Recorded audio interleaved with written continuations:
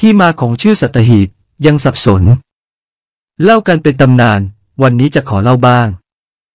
สวัสดีครับคำว่าสัตหีบ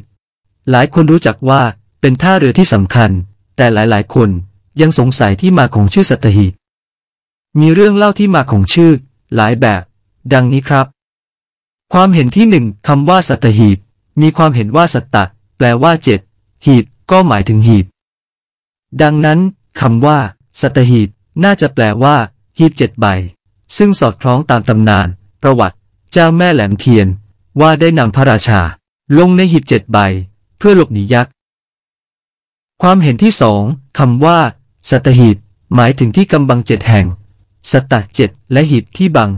อันหมายถึงเกาะต่างๆ กล่าวคือ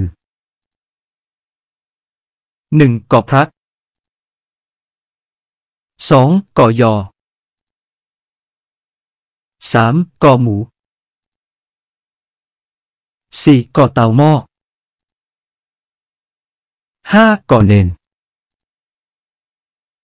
6. เกาะหินฉลามและ 7. เกาะเหลานี่คือที่มาของคำว่าสตะที่แปลว่าเจ็ดผมดูแผนที่แล้ว นับกาะได้มากกว่าเจ็ดครับ หมายถึงกาะที่อ้างว่าเป็นที่กำบัง แต่จำนวนกาะจริง ๆ มากกว่านี้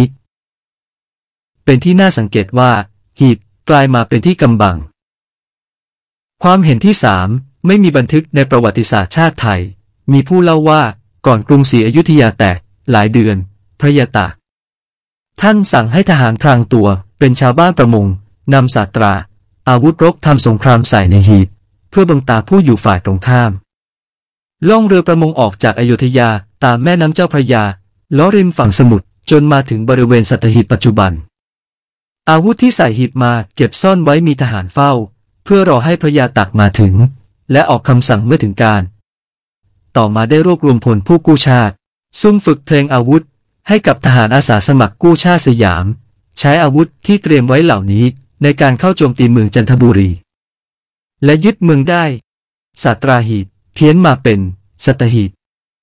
เรื่องเล่าที่มาของสัตหีบหลาย ๆ เรื่องมาจากการตีความคำว่า สัตตะ ในภาษาบาลีแปลว่าเจ็ดต่อไปผมจะขอเสนอความเห็น ที่ไม่เหมือนกับสามความเห็นที่กล่าวมาคำว่าสัตตะไม่ได้มีที่มาจากคำว่าเจ็ดแต่มาจากภาษาของว่าระสะแปลว่าลอย ออกเสียงสั้นว่ารสัตคำนี้สะกดด้วยต่อเต่า ส่วนคำว่าหิบ หอหีบเติมสอีมีบอเป็นตัวสะกด หมายถึงหีบ ความหมายคือ หีบลอยตามน้ำมา คนแถวนี้แต่โบราณเรียกว่า สถานที่พบเห็นหีบลอยน้ำ ฟังคำนี้ครับ ลอยตามลม จะพูดว่ารสับตามเชียวถ้าลอยตามน้ำ จะพูดว่ารสับตามตึก ถ้าจะเรียกสถานที่นี้ว่า สัตหีบ ก็ไม่เพราะ ต้องเรียกว่าสัตหีบ คือออกเสียงตะเพิ่มเข้าไปจะเพราะและน่าฟังกว่า คนสมัยต่อมาได้ยินว่า สัตตะก็ตีความว่าเป็นเจ็ด ที่จริงก็มาจากภาษาของว่า รสัตหิบ รสับทับรสับทับรสับทับนี่คือเสียงต้นแบบที่มาของคำว่า สัตหิบผมเขียนอักษรขอม มาให้ดูด้วยในที่นี้ หลายคนเข้าใจว่าหลายคำในภาษาไทย ยืมมาจากเขมร แต่ที่จริงคำนี้เป็นคำขอมที่พูดกันมากว่า 4,000 ปี วันนี้เสนอภาษาขอม ในภาษาไทยนำมาเล่าให้ฟัง จะนำมาเสนอไปเรื่อยๆ เพราะมีเยอะมาก คนไทยจะได้เข้าใจถูกต้อง ตามความเป็นจริงเสียที วันนี้นำเสนอมาเพียงเท่านี้ รอฟังคำต่อไปอีกมากมาย สวัสดีครับ